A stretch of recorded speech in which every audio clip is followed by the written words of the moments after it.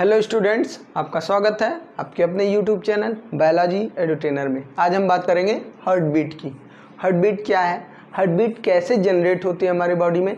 Normal heart beat कितनी होती है? पर मिनट की बात करें अगर हार्ट बीट घटती और बढ़ती क्यों है? तो ये बहुत सारे क्वेश्चन आपके दिमाग में आते रहते होंगे। वो साइंटिफिकली हम आपको बताएँगे कि ऐसा क्यों होता है। हार्ट बीट हमारी घटती और बढ़ती क्यों है? हार्ट बीट लगभग कितनी होती है? नॉर्मल और उसका इमोशनल कनेक्शन क्या है, ये भी हम आपको बताने वाले हैं कि हार्ट बीट क्यों घट बढ़ जाती है। क्लियर तो देखते हैं। फ़र्स्ट ऑफ़ ऑल ये देखेंगे कि हार्ट बीट होती क्या है। हार्ट बीट क्या होती है? देखिए it is caused by the contraction and relaxation of cardiac muscle cardiac muscle means muscles related to the heart यानी जो हमारी हार्ट की मसल्स हैं, उनको क्या कहते हैं? कार्डियक मसल बोलते हैं। तो ये हमारी क्या है मसल्स इनको कहेंगे कार्डियक मसल्स यहीं से क्या होता है? ब्लड को पंप किया जाता है हार्ट के थ्रू इतनी बात क्लियर हो गई? ब्लड को पंप किया जाता है हार्ट के थ्रू ये किसके थ्रू होता है? हार्ट की कार्डियक मसल के थ्रू होता है। हाँ तो अब देख लेते हैं। अगर ऐसा होता है कार्डियक मसल के थ्रू हार्ट क्या करता है? ब्लड को पंप करता है। तो इस कंडीशन में दो चीज़ें आती हैं। एक होता है सिस्टॉल और एक होता है डैस्टॉल ये समझने वाली बातें हैं। थोड़ा सा अगर आप समझ गए तो सारी चीज़ें कनेक्टेड हो जाएँगी एक दूसरे से और आसानी से आपको समझ में आ जाएँगी। तो हार्ट क्या करता है? कॉन्ट्रैक्ट भी करता है और रिलैक्स भी करता है। तो कॉन्ट्रैक्ट कब करेगा? और रिलैक्स कब करेगा? जब ब्लड को पंप करना होगा कार्डियक मसल्स जो होंगी कार्डियक मसल्स जब ब्लड को पंप करेंगी, उस समय क्या हो जाएगा? ब्लड कॉन्ट्रैक्ट कर जाएगा। ऐसी कंडीशन को क्या कहते हैं?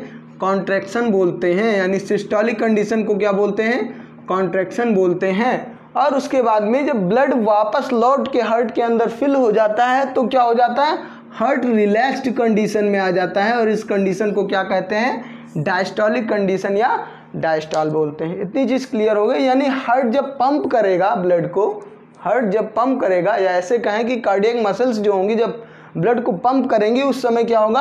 हार्ट कॉन्ट्रैक्ट कर जाएगा, सिकुड़ जाएगा बिल्कुल, और उस कंडीशन को क्या कहेंगे? सिस्टॉल और उसके बाद में जब वापस हार्ट में ब्लड फिल हो जाएगा तो फिर इस कंडीशन को क्या कहेंगे? डायस्टोल और यहाँ पे क्या होता है? ब्लड रिलैक्स्ड कंडीशन में हो जाता है, यानी वापस अपने शेप में आ जाता है। ये बात हो गई। तो अब हार्ट बीट जो होगी, एक कॉन्ट्रेक्शन और एक रिलैक्सेशन को मिला करके क्या होता है? हार्ट बीट होता है। एक बात आपके दिमाग में आ रही होगी कि ये जो हार्ट बीट है, ये जनरेट कैसे होता है? हार्ट बीट जो होता है, वो कैसे जनरेट होता है? तो हार्ट में हार्ट के स्ट्रक्चर की बात करें तो दो टाइप की इसमें वॉल्व्स होती हैं। एक ये वाली वॉल्व इसको क्या कहते हैं? ट्राइकस्पिड वॉल्व कैसी वॉल्व कहते हैं? ट्राइकस्पिड वॉल्व और दूसरा वाला पार्ट जो हो गया ये वाला पार्ट जो हमारी आर्टा होती है, ये क्या है? ये है आर्टा आर्टा की जो वाल्व हैं, ये क्या है? बाई स्पीड वाल्व कैसी वाल्व है?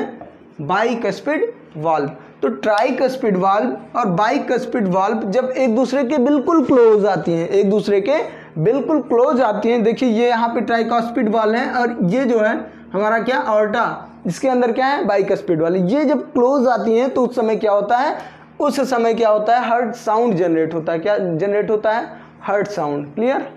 तो ये जो हर्ट साउंड है, हर्ट साउंड दो होता है मेनली। वैसे तो चार होते हैं। एक होता है लब और एक होता है डप। ये दो टाइप के क्या होते हैं हमारे? साउंड। अभी हम हार्ट बीट की बात कर रहे थे और फिर हम हार्ट साउंड की बात क्यों करने लगे? तो जब कॉन्ट्रेक्शन और रिलैक्सेशन होता है तो कुछ स्पेसिफिक साउंड जनरेट होती है। इसी को क्या कहते हैं? हर्ट साउंड कहते हैं। तो इसी हर्ट बीट में ही हमें कवर करना था, क्योंकि ये इसी से रिलेटेड है, ठीक? तो जब हार्ट बीट होती है, यानी एक बार कॉन्ट्रेक्शन और एक बार रिलैक्सेशन होता है तो ये साउंड्स निकलते हैं। लव एंड डब क्लियर हो गई बात?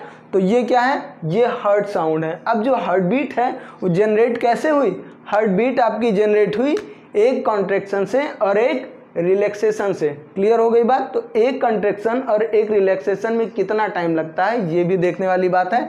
तो about to be point eight second लगता है हार्ट बीट जनरेट होने में। एक हार्ट बीट में कितना टाइम लगेगा? पॉइंट एट सेकेंड क्लियर तो अब एक चीज़ और आपके दिमाग में बात आ रही होगी कि जो हार्ट बीट है वो नॉर्मल कितना होता है? पर मिनट की बात करें तो सिक्सटी टू हंड्रेड या हंड्रेड टेन तक कर लेते हैं। ये क्या होता है? ये पर मिनट होता है। पर मिनट नॉर्मल हार्ट बीट होती है। Sixty to hundred. यानी एक कॉन्ट्रेक्शन और एक रिलैक्सेशन की बात अगर की जाए तो वो वन मिनट में सिक्सटी टू हंड्रेड होता है। ये नॉर्मल हार्ट बीट होती है। अब हार्ट बीट ज़्यादा भी हो सकती है और हार्ट बीट कम भी हो सकती है। तो कब हार्ट बीट ज़्यादा होगी और कब हार्ट बीट कम होगी, ये भी देखने वाली बात है। तो देखिए हार्ट बीट आपकी कब ज़्यादा होगी और कब कम होगी। अब आइए आपके पॉइंट वाली बात, ठीक है? इसको इमोशनली हम ऐसे कनेक्ट करेंगे, जब आप थोड़ा स्ट्रेस में होते जब थोड़ा आप स्ट्रेस में होते हैं तो उस समय हमारी जो एड्रिनल ग्लैंड है एड्रिनल ग्लैंड क्या करती है? एक हार्मोन सेक्रेट करती है, जिसको कहते हैं कार्टिसोल क्या कहते हैं?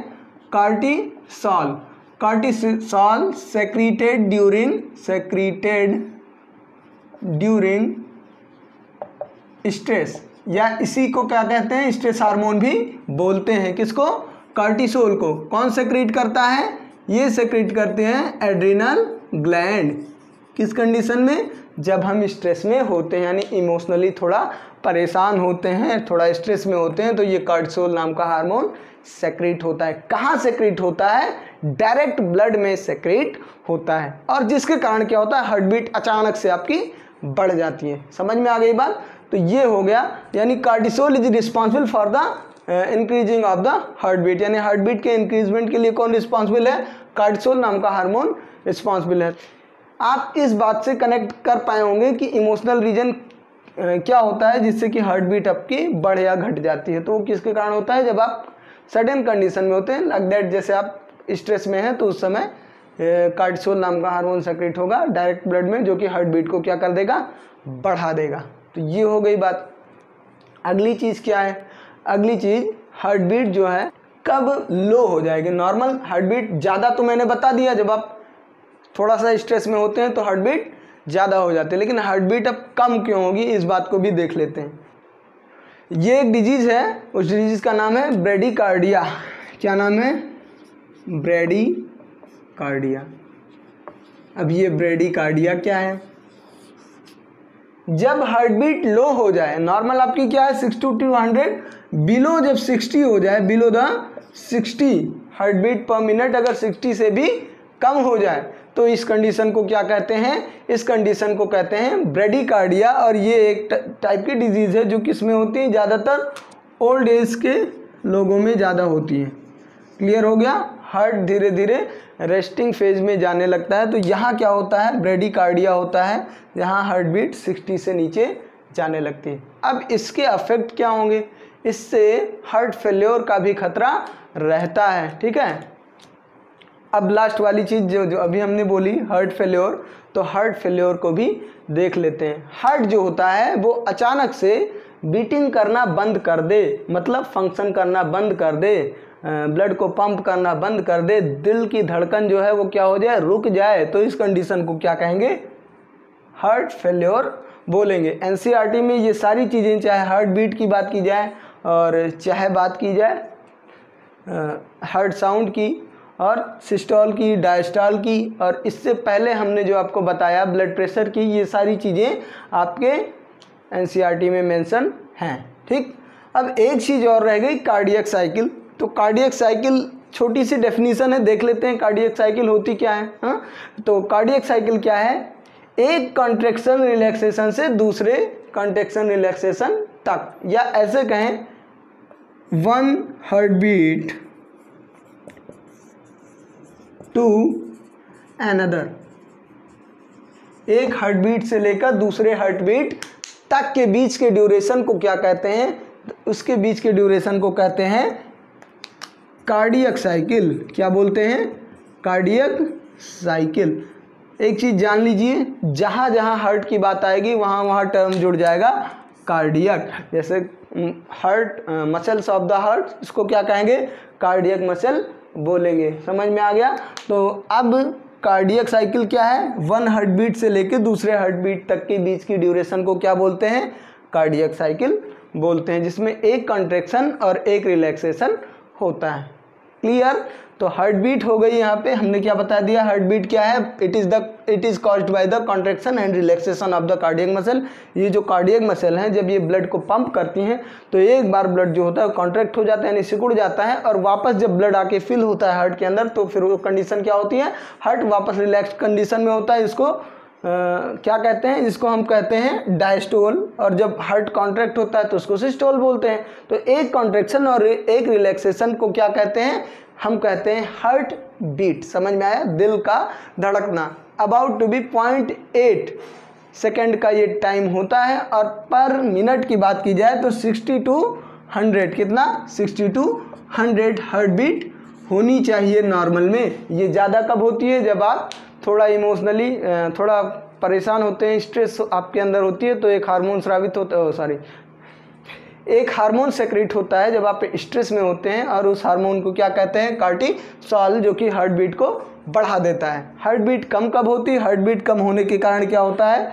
हार्ट बीट कम होने के कारण ब्रेडिकार्डिया होता है। ओल्ड एज के लोगों को ब्रेडिकार्डिया जैसी समस्या होती है। तो ये ओवरऑल कॉन्सेप्ट किसका हो गया? ये ओवरऑल कॉन्सेप्ट हो गया हार्ट बीट का। क्लियर तो अगर ये वीडियो आपको पसंद आया तो वीडियो को लाइक कर दीजिए और चैनल को अभी तक सब्सक्राइब नहीं किया है तो सब्सक्राइब भी कर लीजिए। अब इसके बाद हमारा सर्कुलेशन वाला पूरा टॉपिक ख़त्म हो गया।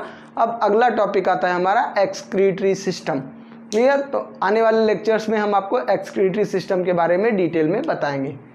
Thank you